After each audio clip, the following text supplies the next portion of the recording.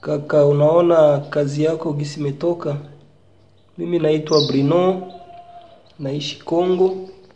Nimejifunza kupitia Yagomba TV kutotolesha mayai ya kuku kupitia ndani ya box, na hapa tumeshafika siku ya ishirini na mbili. Vitoto vyetu vimetoka na ndio hapa sasa tumesha totolesha hapa na tukavileta ndani ya kuvihifadhi. Ndio hivi hapa.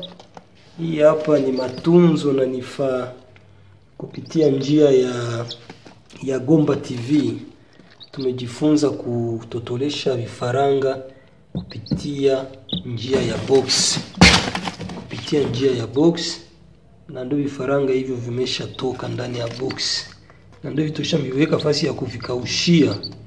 Hapa. Vifaranga vimeshakauka, vina siku kama siku moja, siku mbili hivi, na tuka tunashukuru sana kupitia Yagomba TV iendelee na kuleta hayo ma, mafanikio hayo ma, maelezo kwa watu ili wapate kujua jinsi ya ku ya kuendelesha watu ndani